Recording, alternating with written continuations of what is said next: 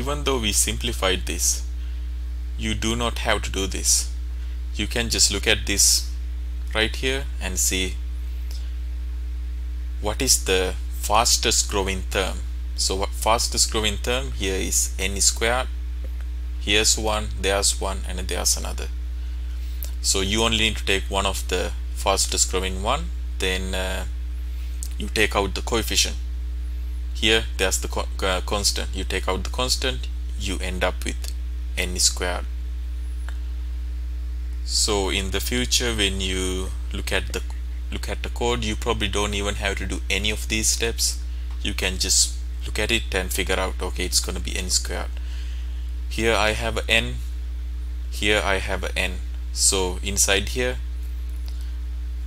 this is going to be n squared. This is going to be executing n squared time. Because of that I can simply say okay my uh, time complexity is going to be n squared rather than using all of these steps to come up with the answer. So this algorithm is something we went through in section 3.1 so it's a describe the time complexity of the algorithm for finding the maximum element in a finite sequence. So in section 3.1 we had this uh, bunch of uh, elements in an array. And I want to find out what is the maximum among all of those elements.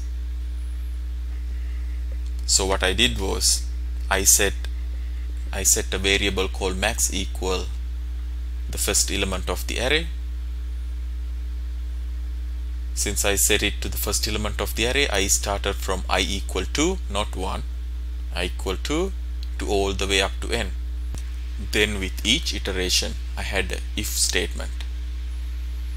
If maximum is less than ai then I'm gonna update my variable max to this new ai uh, new element in the array. So I'm checking with every current element is starting with the element 2 I'm checking is it greater than the max value?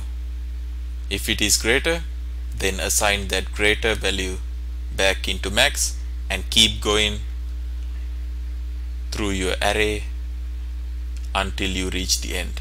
So you go from 2 to n. Finally whatever the value is in your max element max variable is your answer. So the number of comparisons will be used as the measure of the time complexity of the algorithm because comparisons are the basic operations used. So even if we use this one um, this would have a time time of 1 eventually we're gonna get uh, get rid of it so no need to worry about this. I'm just gonna concern with this for loop. Like all the comparisons that happen here. There's a comparison there's a comparison. So if I were to look at the comparisons happening in here in my for loop how many comparisons are happening? Notice it's not n plus 1 it is not n plus 1 like uh, what you saw in the previous slide.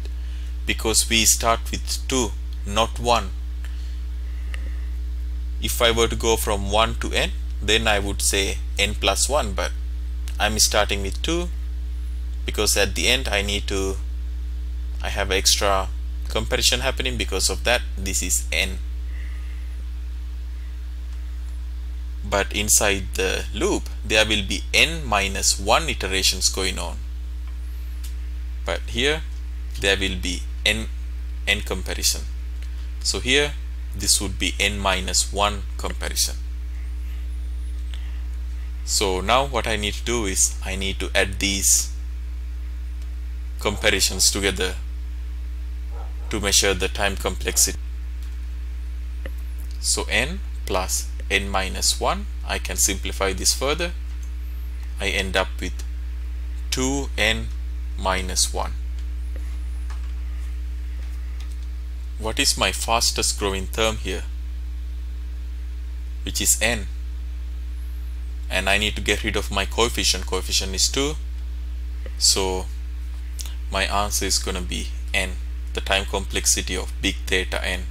So if I were to draw this in a graph I would get a linear line like this. So this is a linear function. Hence the time complexity of the algorithm is big theta of n. But why am I saying this is big theta? I'm not saying this is big O or big omega. I'm just saying this is big theta. Why is that that's because we can show 2n minus 1 is big O of n. Also we can show 2n minus 1 is omega of n big omega of n. So in section 3.2 we prove this. If there was a question like that I showed you guys how can we say uh, prove that this is really big O of n or how can I say this is a big omega of n. So for it to become a theta it has to satisfy both. So big omega uh, a big O is like the upper bound of this function. Big omega is like the lower bound of the function right now my upper bound and the lower bound all are the same. Because of that since it's both of these satisfied I can say this is a theta big theta of n.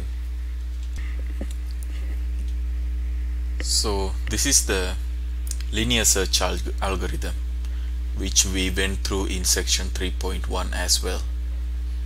So describe the time complexity of the algorithm for linear search so we're going to use the same procedure. We're just going to look at the number of comparison used in this uh, pseudocode. You could look at the other ones like this assignment operator but this will be just one and so on. I mean you still get the same answer. But in your book they like to just do the comparison. Just count the number of comparison used in uh, algorithm. So that's what we're gonna do. So we have three comparisons going on. There's one comparison right here and here's another and there is another. So we have three of them. So how long will this one take? This while loop? This i less than or equal to n. This will take n plus one time. It's the same story as before. When this while loop goes through it makes n iterations but at the end there will be a one extra one to check if this condition become true. That's why I have n plus 1 just like before. What about right here? How many comparison will there be so there's only going to be n comparison here. That's because we have something called short circuit evaluation. You might have learned this in your 1301 class. Whenever we have a AND operator your computer performs something called a short circuit evaluation to save some processing time because you are using an AND operator for an AND operator to become a true this for this compound expression to become true both side has to need to have a one true and a true. So if if the this left hand side become a false there's no need to check for this right hand side. Because of that it's not gonna even check this right hand side whenever this become false at the very end of the while loop. So that's what we talk uh, but that's what we say short circuit evaluation which which you should have learned in your 1301 class. So because of that this will be only compared n times. So what about this one? This is outside the while loop this if statement since this if else statement is outside the while loop this is only gonna get executed one time. So let's add these up. So n plus 1 then plus n plus 1 so you can simplify it further but without simplifying further you can see the time complexity is going to be n so if you simplify it further you get 2n plus 2 and you, you need to find the fastest growing term here which is 2n and you take out the coefficient you left with n. Because of that the time complexity of the algorithm is theta n.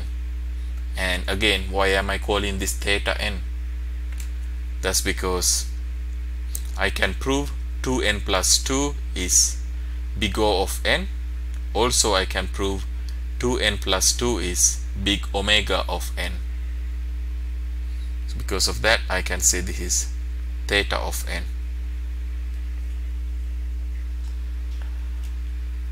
So we can we call this the worst case time complexity right here theta n in this situation.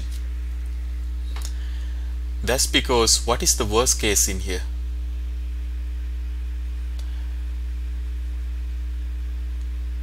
worst case would be you have to find the element x within this array.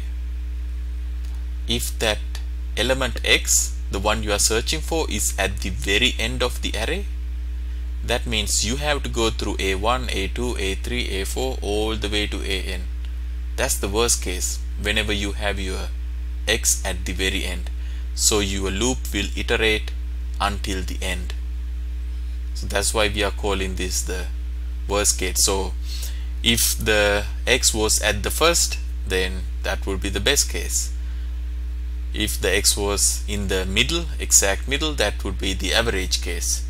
So in the next slide we're going to look at the worst case and the average case in more detail